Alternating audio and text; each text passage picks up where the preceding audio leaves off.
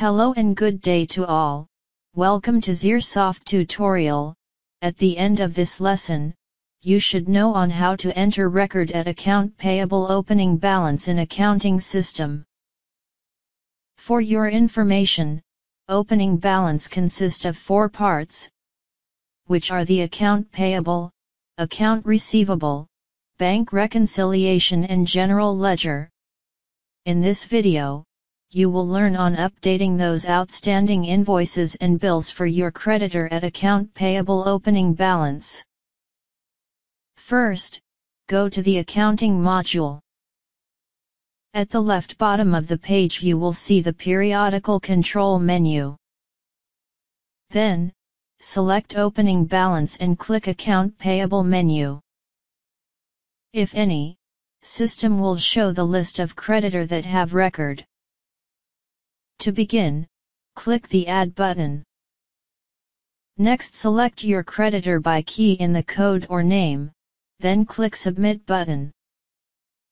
If you not remember the creditor code, you may find the creditor by key in the unique characters of the creditor name. Now, on the screen is the entry page to key in all the outstanding bills of selected creditor.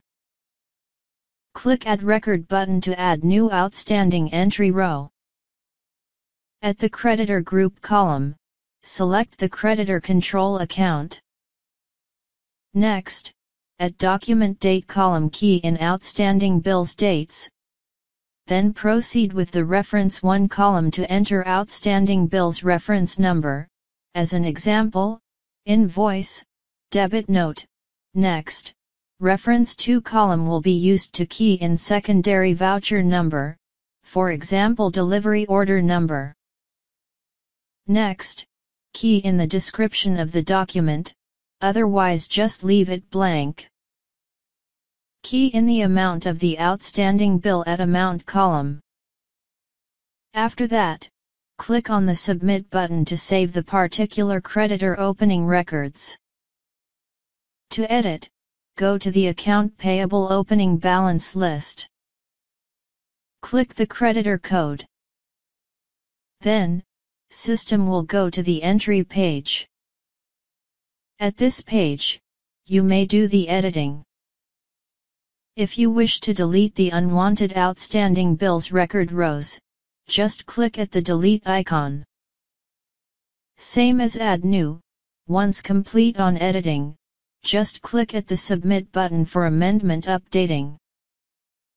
To search for specific creditor, user may use System Search, either by creditor code or by creditor name.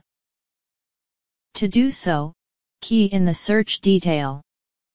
Then click the Search button.